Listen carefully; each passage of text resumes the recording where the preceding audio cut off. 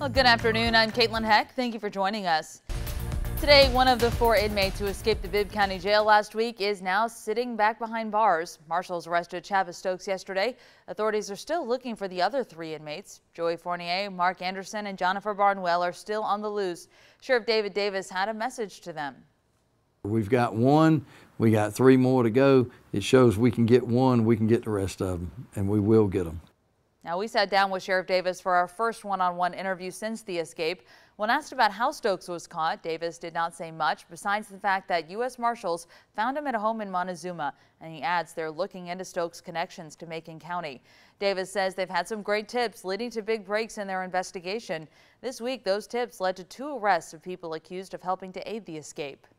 Now, if you have any information about the other three escaped inmates, the Bibb Sheriff's Office says you can call their tip lines or make Macon Regional Crime Stoppers. Those numbers are right there on your screen. They also recommend you call the FBI's tip line.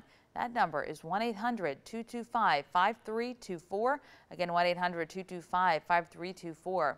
We'll continue to keep you updated on this case and everything we learn as the investigation continues. You can find our complete coverage online right now, from what we know about the inmates and who's accused of helping them escape to neighborhood and law enforcement reactions. It's all there on 13WMAZ.com.